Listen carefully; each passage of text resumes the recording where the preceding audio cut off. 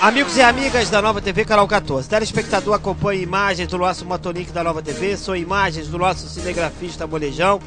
Estamos passando pela Cristina Zied, pegando a Carlos Éboli, indo em direção a Conselheiro Paulino e nós teremos informações daqui a pouco do nosso Motolink a respeito dessa ocorrência. São imagens do nosso cinegrafista Molejão que se encontra com a gente, com a Nova TV trazendo informações a respeito das ocorrências em nosso município. Já já a Molejão vai trazer as informações a respeito dessas ocorrências. Molejão, na escuta? Na escuta, Marconi.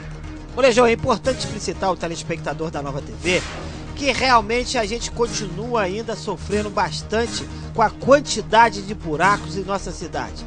Nova Friburgo foi colonizada por suíços e isso nos orgulha, mas o suíço também lembra a questão do queijo suíço, que é muito buraco em nossa cidade, Morejão.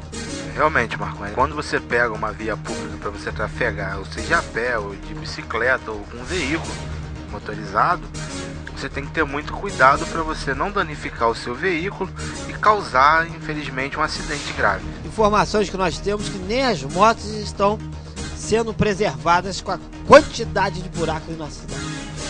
Afirmativo, Marconi. Foi conforme eu disse.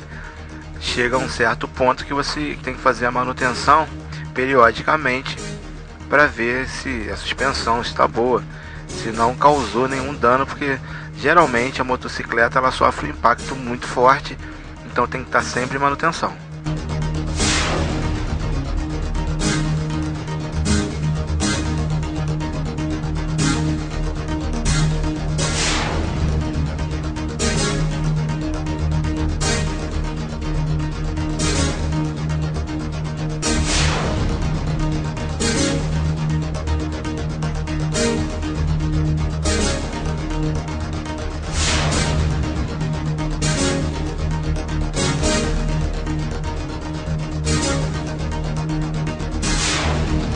Agora sim, o telespectador acompanha o nosso Motonic na Avenida Governador Roberto Silveira. Já já teremos informações a respeito dessa ocorrência, informações trazidas nesse momento à redação da Nova TV que trata-se de um grave acidente. Já já, nosso cinegrafista Morejão vai trazer todas as informações. Morejão na escuta. Na escuta, Marconi. Morejão, traga informações a respeito dessa ocorrência. Ó, oh, Marconi, nós estamos indo conferir e averiguar se realmente é verdade um ônibus da 1001 se chocou com um caminhão perto do Café Muquim. É, molejão, a 1001 tem que se benzer, né? Porque que a quantidade de acidente que vem envolvendo essa empresa é enorme. Então, é preciso realizar uma sindicância interna para ver o que está ocorrendo, porque essa empresa vem aumentando o índice de acidentes envolvendo veículos da 1001. A gente não sabe de fato se é por força maior, mas de qualquer forma é preciso prestar atenção, ver o que está acontecendo. A gente sabe como é uma empresa idônea, uma empresa tradicional, mas nos causa estranheza.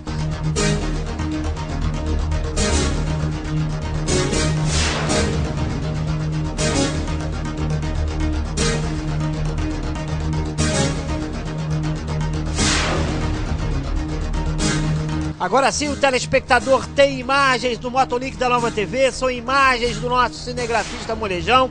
A polícia militar se encontra no local e um ônibus da 1001 chocou-se com esse caminhão.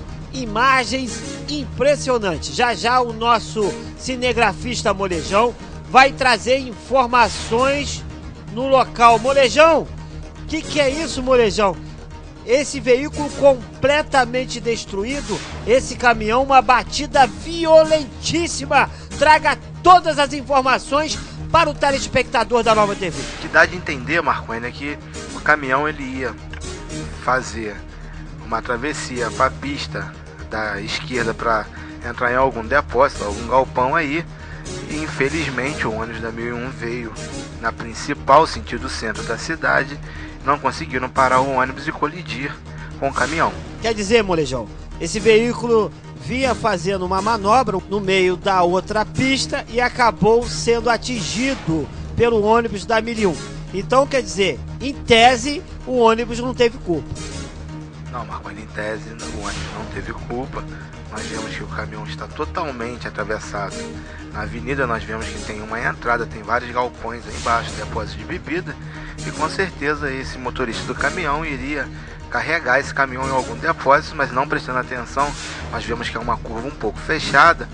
Infelizmente ele não conseguiu atingir o outro lado da pista, fazer a travessia vindo o ônibus da 1001, infelizmente, a colidir com ele. Para você que foi caminhoneiro também, mas não é uma manobra um pouco inconsequente e irresponsável? Não, com certeza, Marconi, é porque nós vemos que ele ia sentido Bom Jardim. E o depósito é do lado esquerdo da pista, nós vamos ver. O que aconteceu? Sendo do lado esquerdo, ele tem que sair da pista da direita e atravessar, ocupar as duas pistas para poder ir para o depósito. O certo seria ele lá embaixo, perto do radar, manobrar ali perto dos maias, ali por ali, e voltar para entrar sentido certo. Mas infelizmente é difícil o motorista que procura um retorno e ele quer fazer a manobra, causando esse tipo de acidente. E uma manobra de um veículo daquele tamanho ali, no mínimo, ela demora mais ou menos 30, 40 segundos. É isso daí, não tem aquele arranque, não tem aquela partida, aquela força maior que tem uma motocicleta que tem um veículo de pequeno porte porque o caminhão ele é pesado e ao mesmo tempo longo. Então isso, infelizmente, ele fica totalmente dentro da pista. Agora o telespectador acompanha imagens do nosso cinegrafista Molejão à frente do ônibus da Melium completamente destruída. Molejão traga informações a respeito de vítimas. Olha, Marconi, graças a Deus não teve vítima fatal. Tiveram vítimas com escoriações. O motorista do caminhão e o motorista do ônibus se machucaram, mas os passageiros não tiveram nenhum ferimento grave. Eu sempre tenho uma visão. Quando viajar de ônibus, eu viajo mais ou menos pelo meio. Normalmente, acidente envolvendo ônibus, o acidente é frontal. Então, quer dizer, tem pessoas que brigam para ficar na frente do ônibus, na parte frontal do ônibus. Eu fico mais ou menos na parte do meio do ônibus, que normalmente é o local que tem menos acidentes, né? Então a gente fala para a população que se puder procurar uma cadeira mais para trás, é mais seguro, né, Molejão? Afirmativo, Marconi, foi o que você disse.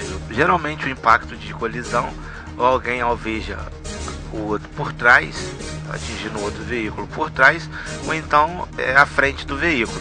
O meio, com certeza, o passageiro está melhor protegido. O telespectador acompanha essas imagens do nosso cinegrafista Molejão, veículo completamente destruído. Agora, Molejão, o ônibus é de Raposo. É, Marconi, ele vinha é, de Raposo, sentido Rio de Janeiro, e infelizmente a sua viagem foi interrompida por um acidente.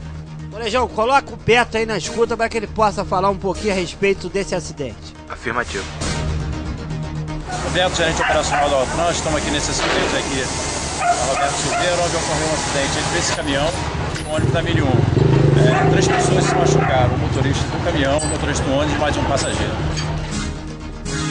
Nós ouvimos o Beto da Altran, te mando nossos cumprimentos ao Beto, esse rapaz esforçado, tem uma experiência grande no trânsito em nossa cidade, ao qual faz um desempenho, um patrimônio, vamos dizer assim, da Altran. Né? O Beto é é uma figuraça, uma pessoa do bem, uma pessoa humilde, que está sempre procurando trazer uma eficiência na máquina administrativa e muitas das vezes o pessoal soberano, os donatários, os homens do poder, muitas das vezes ao invés de ajudar a melhorar a eficiência, acabam tolindo, sufocando para que de fato o trânsito de nossa cidade possa ter maior qualidade.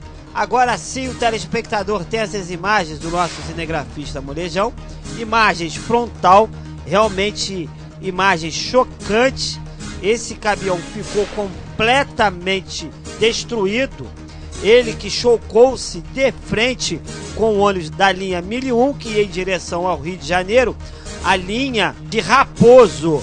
Ele vinha de Raposo indo em direção ao Rio de Janeiro, cruzando a cidade de Nova Friburgo pela Avenida Governador Roberto Silveira, a RJ 116, mas foi atingido, mas bateu de frente com esse caminhão, uma batida fortíssima, chocante e a gente pede à população que tenha o um máximo de atenção.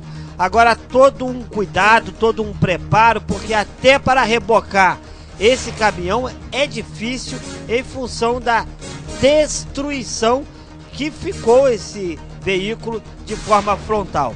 Também trazidas informações do nosso Motolink, do nosso cinegrafista Molejão, em que esse motorista tentou fazer o retorno, uma manobra na Avenida Governador Roberto Silveira, uma manobra arriscada. A gente sabe que um caminhão para fazer uma manobra não é rápido, é demorado e nisso culminou nesse acidente. Ou seja, o motorista de forma irresponsável, a verdade é essa, de maneira irresponsável, acabou provocando esse acidente. Graças a Deus, informações trazidas pelo Motolink da Nova TV, informações trazidas por Morejão, não há vítimas fatais, apenas feridos, mas se Deus quiser, eles se recuperarão.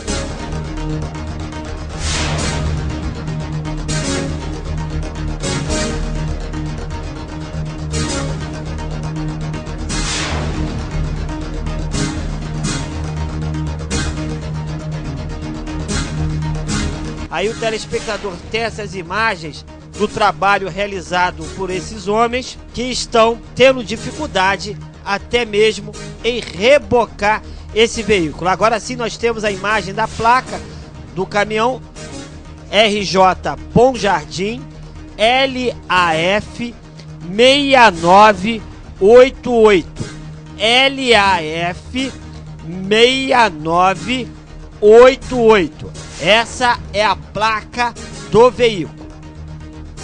Todo cuidado, toda precaução a fim de que esse veículo seja rebocado.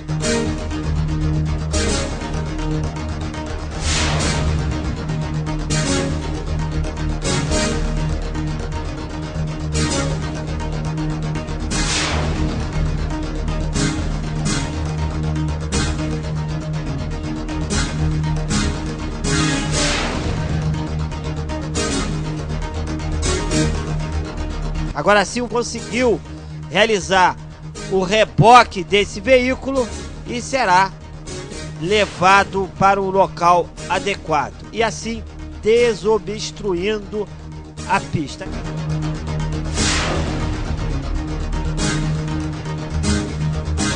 Aí nós temos imagens do prefeito eleito Rogério Cabral no local. É isso que a gente espera de um prefeito, que ele esteja presente nos acontecimentos de nossa cidade, o que não acontece com o atual prefeito, que infelizmente, além de não atender a população, não consegue fazer o dever de casa, que é ter um trânsito seguro, uma educação digna, as ruas pavimentadas, o funcionário público com salário digno, a estabilidade da máquina administrativa. A gente espera que o prefeito eleito possa de fato melhorar a realidade. Que também ser pior que esse prefeito daí é difícil, que esse é o pior da história de Nova Friburgo. O atual prefeito é o pior. E o Rogério Cabral, a gente torce para que ele consiga fazer um bom governo, para que ele haja com autoridade, volte de fato a autoestima, o respeito e a boa imagem do município de Nova Friburgo lá fora e também aqui dentro a autoestima possa chegar ao friburguense. E a gente fica feliz em ver o prefeito presente nos acontecimentos, ainda que seja um acontecimento ruim, mas de qualquer forma ele já está vendo em loco os problemas, principalmente na área do trânsito, que acontece em nossa cidade. E bem como acompanhando o trabalho, no caso aí da Outran, em que ele vai ser o responsável maior a fim de gerir essa autarquia. Lembramos então ao telespectador da Nova TV que o nosso telefone é 2522 9058. Anote nosso site www.novatvfriburgo.com.br. Lembre sempre, Nova TV é a nossa força, é a nossa voz.